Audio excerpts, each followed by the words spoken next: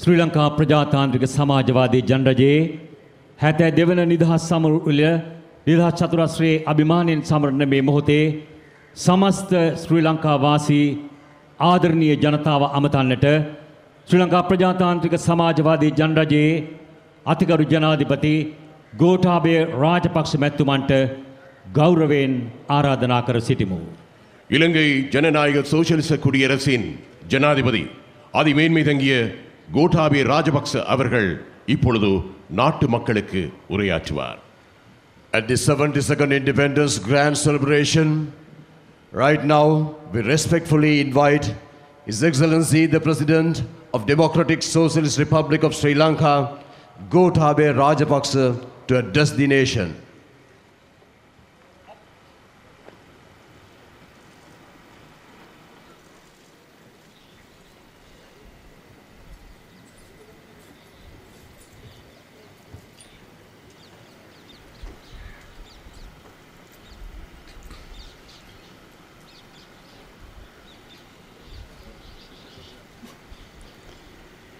අතිපූජනීය ගරුතර මහා සංඝරත්නයෙන් අවසරයි සෙසු පූජා ප්‍රසාදීන් වහන්සේලාගෙන්ද අවසරයි.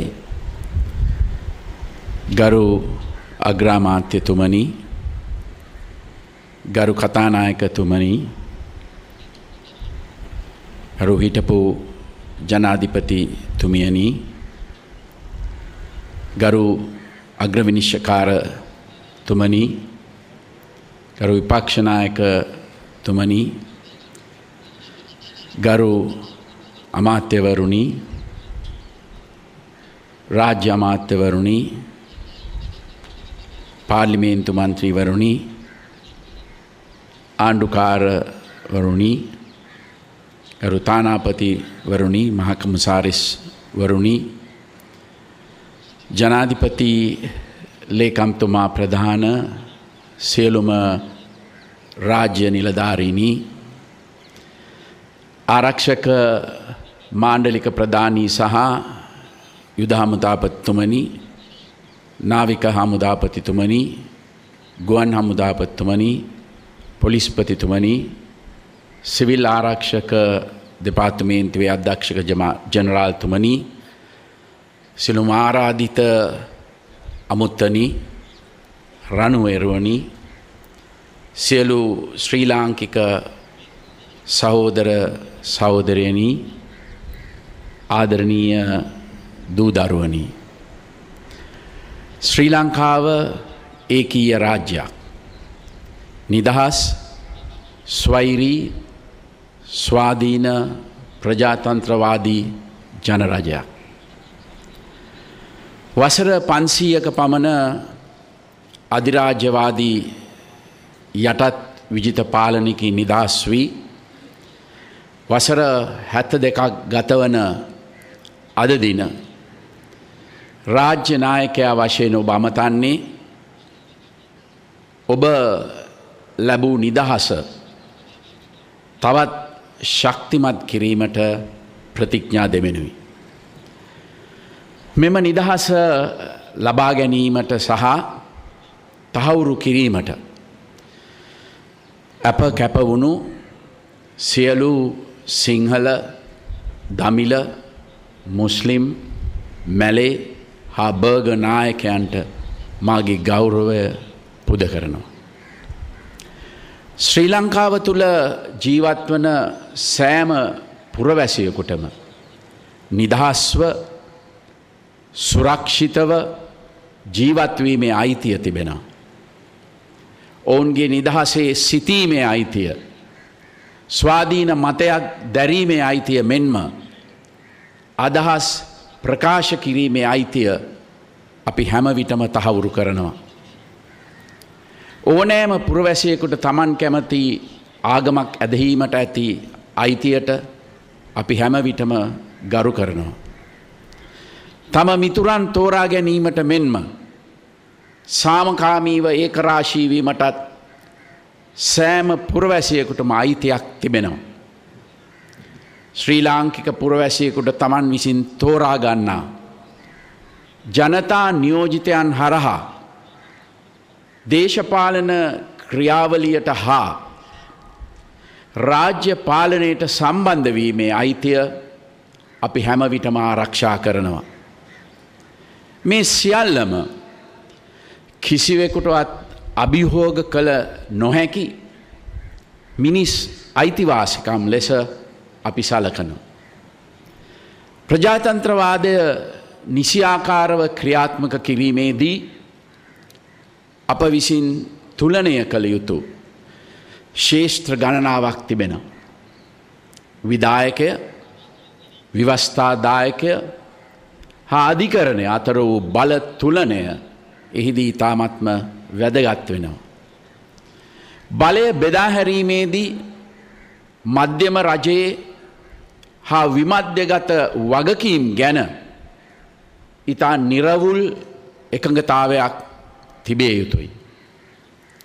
සාමාන්‍ය ජනතාව හා ආරක්ෂක අංශ එකිනෙගාගේ වගකීම් වටහා ගත යුතු අතර පුරවැසියන්ට පෞද්ගලික අයිතිවාසිකම් මෙන්ම සාමූහික අයිතිවාසිකම්ද ඇති බව අපි මතක තබා ගත යුතුයි. රජය හා ජනතාව අතර සම්බන්ධීකරණයක් මෙහිදී සුවිශේෂී වෙනවා. නිදහසින් පසු මේ ජනරජය තුළ බලයට පත් වූ සෑම රාජ්‍ය නායකෙන්ම තෝරා පත් කරගනු ලැබුවේ සර්වජන චන්ද බලයෙන්. එසේ මහජන චන්දයෙන් තෝරාපත් කර ගැනුණු වත්මන් රාජ්‍යනායකයා ලෙස මගේ දූරකාලය තුළ රටේ සියලුම දෙනාගේ නායකයා ලෙස රටේ සුභසිද්ධිය වෙනුවෙන් උපරිම වශයෙන් කැපවී සේවය කරන්නට මම සූදානම්. ප්‍රජාතන්ත්‍රවාදී රටක නිසි ක්‍රමවේදයට අනුව රාජ්‍ය නායකෙක් පත්වුවාට පසු ඔහු මේ රටේ සියලු ජනතාවගේම ජනාධිපතිවරයා වෙනවා. තමුන්ගේ දූරකාලය තුළ ඔහු සේවය කළ යුත්තේ සමස්ත ශ්‍රී ලාංකික ජනතාවටයි. ඔහු තමන්ට චන්දය දුන් ජනතාවට පමණක් සේවය කරන්නට බැඳී නැහැ. එක් ජන කොටසකට සේවය කරන දේශපාලන නායකකු නොව සියලු ජනතාවගේ රාජ්‍ය නායකයා වශයෙන් සේවය කළුතිය යන දැක්ම මට තිබෙනවා. ජනාධිපතිවරයා ලෙස අදමා නියෝජනය කරන්නේ ජාති ආගම් පක්ෂ හෝ වෙනත් කිසිදු බේදයකින් තොරව සමස්ත ශ්‍රී ලාංකික ප්‍රජාවයි. ඕනෑම ප්‍රජාචන්ත්‍රවාදී සමාජයක යහ පැවැත්ම හා ප්‍රගමණය සඳහා ශක්තිමත් විදායකයක් ව්‍යවස්ථාදායකයක් හා ස්වාධීන අධිකරණයක් අවශ්‍ය වෙනවා. රටක පැවැත්ම සඳහා අවත් අත්‍යවශ්‍ය මෙම ප්‍රධාන ආයතන ගැන කුමන ආකාරයකින් හෝ ජනතා විශ්වාසය පළුදුවන්නේ නම් එය රටක අරාජිකත්වයක් ඇතිවීමට හේතු වෙනවා. එනිසා සියලු පාර්ශවයන් තමන්ට ලබාදී ඇති බලතල රටේ සුභසිද්ධියට මෙන්ම ජනතා පරමාධිපත්‍ය ආරක්ෂා කිරීම සඳහා ජාතික දැක්මක් තුළ සිය කාර්භාරය ඉටු කළ යුතුයි.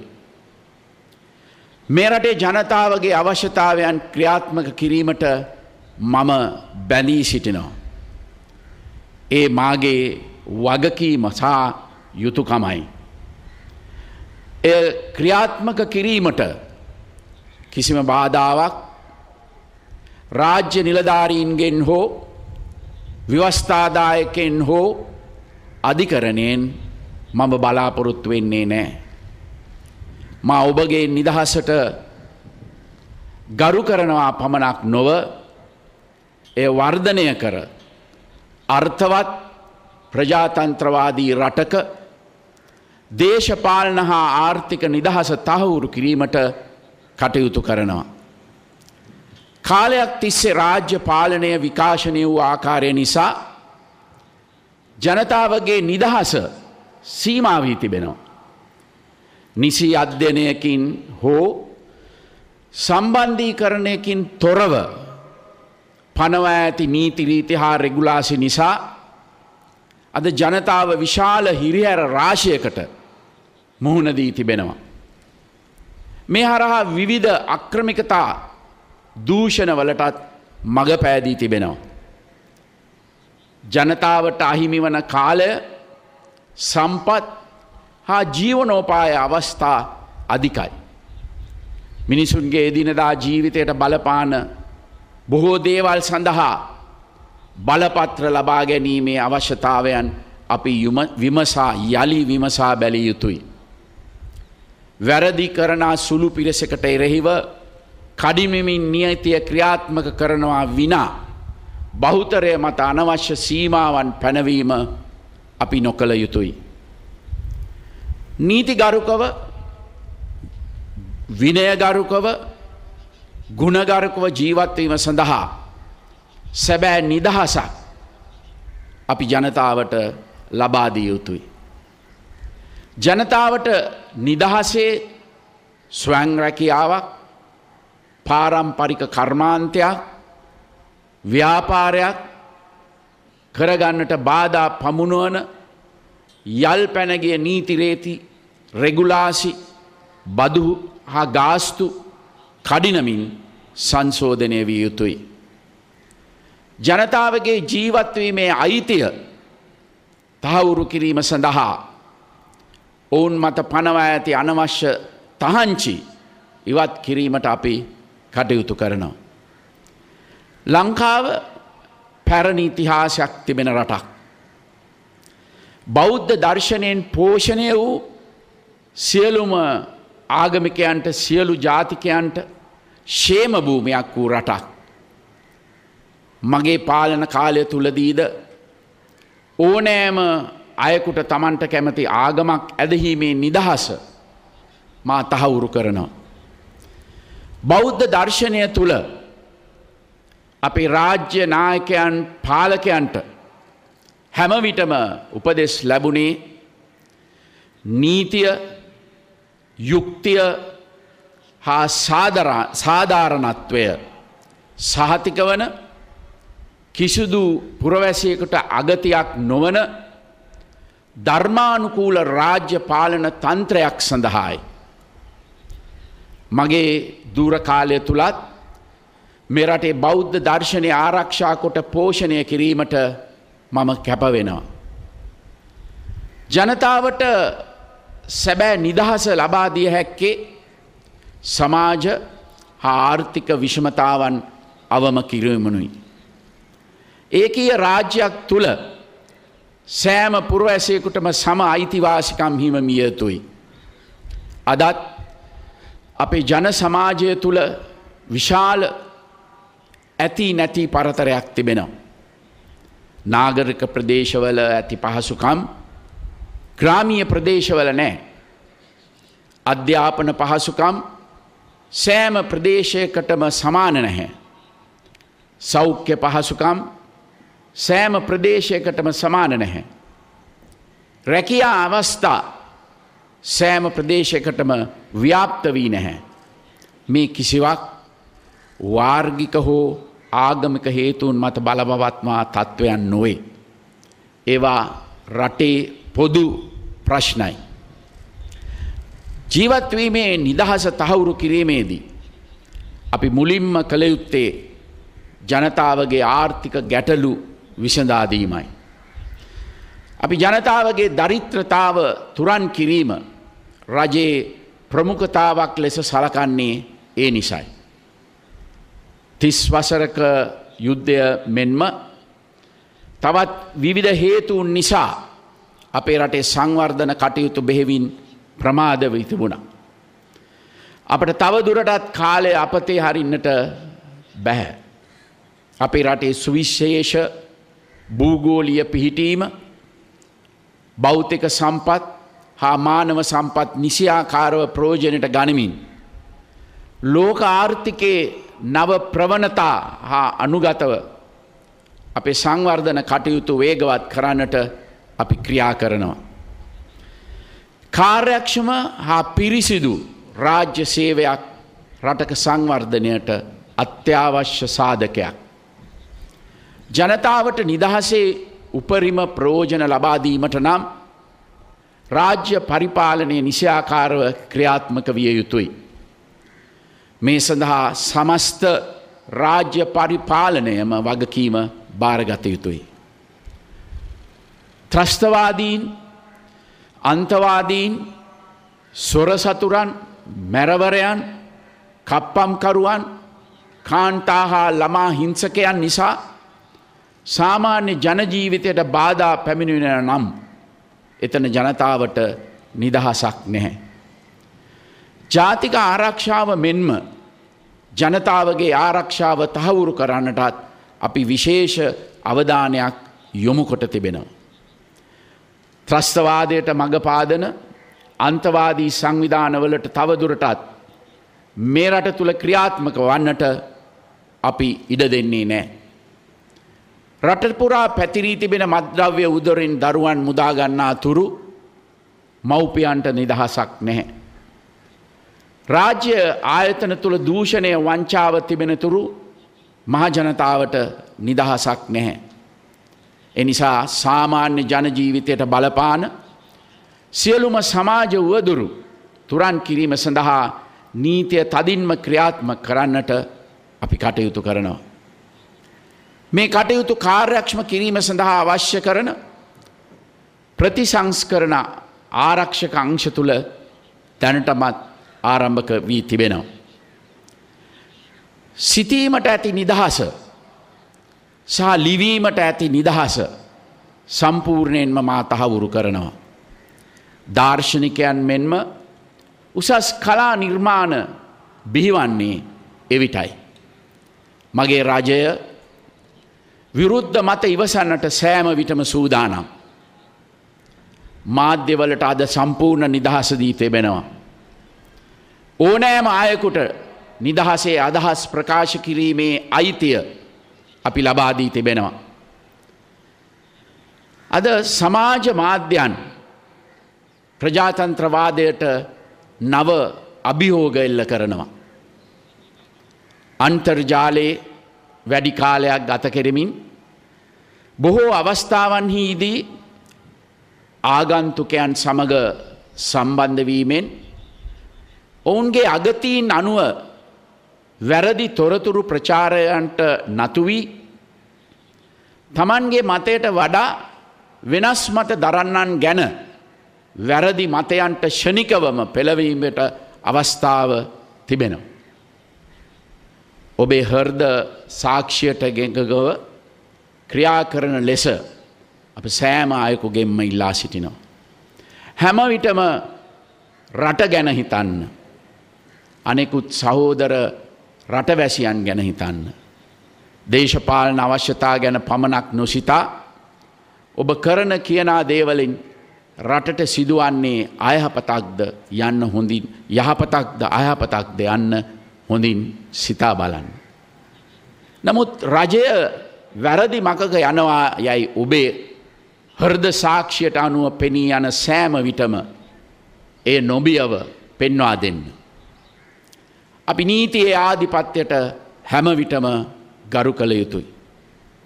ජනතාවට සැබෑ නිදහස ලැබෙන්නේ නීතිය සාධාරණව ක්‍රියාත්මක වන විටයි.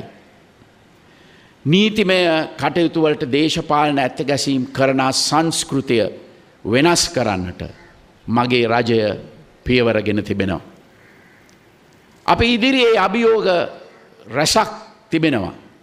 නට රජය දරනා උත්සාහයට ඔබ සියලු දෙනාගේම සහාය අවශ්‍යයි. මා ඔබ ඉදිරියේ තැබූ ප්‍රතිපත්ති මාලාව අද ඔබ මුහුණ පාන අභියෝගලට මුහුණ දිය හැකි ක්‍රියාදාමයක්. ඒ තුළින් සෞභාග්‍යමක් දේශයක් ඇතිකිරීම අපගේ බලාපොරොත්තුවයි. අනාගත පරපුර වෙනුවෙන් මේ බලාපොරොත්තුව ඉටු කළ හැක්කේ වත්මන් පරපුරටයි. ඉතිහාසය විසින් අප මත පවරා ඇති මේ ඓතිහාසික වගකීම ඉටු කිරීමට අප හා එක්වන මෙන් සියලු ශ්‍රී ලාංකික ජනතාවගෙන් මා ඉල්ලා සිටිනවා. ඔබ සැමට සෞභාග්‍යමත් අනාගතයක් මා ප්‍රාර්ථනා කරනවා තෙරුවන් සරණයි.